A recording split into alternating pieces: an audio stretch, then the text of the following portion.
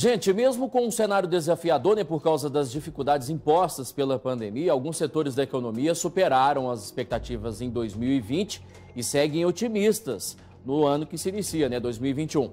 Vamos ver aqui a reportagem. Aos poucos, a confiança na economia está sendo retomada. Uma pesquisa do Índice de Confiança do Empresário Industrial apontou 62,6 pontos em dezembro apesar do recuo de 1,3 ponto. Se comparado a novembro, a primeira queda em oito meses, o indicador registra que a confiança elevada dos empresários tem se mantido, especialmente pela expansão da demanda interna. A produção industrial vem subindo mês após mês. Retrato da recuperação econômica.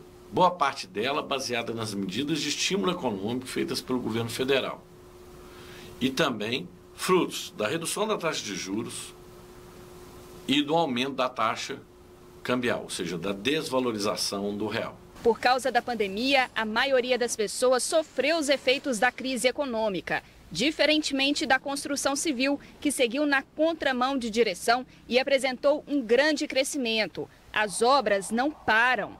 Milton é advogado de uma construtora que está com dois grandes empreendimentos a serem entregues, um para o final deste ano e outro para o fim do ano que vem. Boa parte dos apartamentos já foi vendida. Havia uma obscuridade do que poderia acontecer durante o período de 2020 no setor da construção civil, mas no decorrer disso tudo, é, no clareamento do dia a dia, veio demonstrar até crescimentos. Né? Então, podemos afirmar em dezembro de 2020 que a construção civil no mercado brasileiro cresceu em torno de 5,6%. E, e em Minas Gerais cresceu 6,5%. Agora, a perspectiva para 2021 é de mais crescimento, sim, na faixa de 4%, que nós estamos esperando de acordo aí com o sindicato e a indústria no, no segmento da construção civil.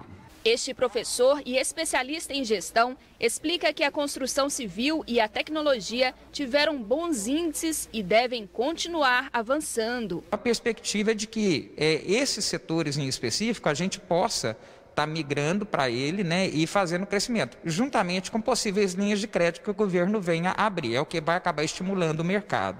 Para 2021, a projeção de crescimento do PIB, que é a soma de todas as riquezas produzidas no país, é de 4%.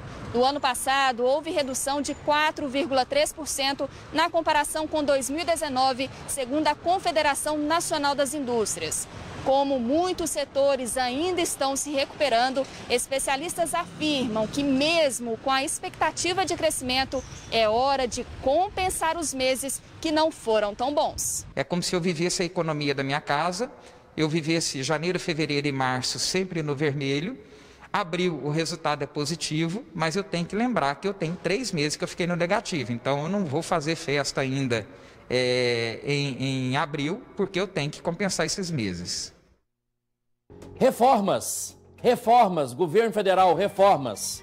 Mudaram lá a Câmara, Senado, será que agora vai? Reformas, fazendo as reformas, esse país vai. Negócio que os políticos que lá estão não querem muito que o país anda, não. Eles querem viver na promessa.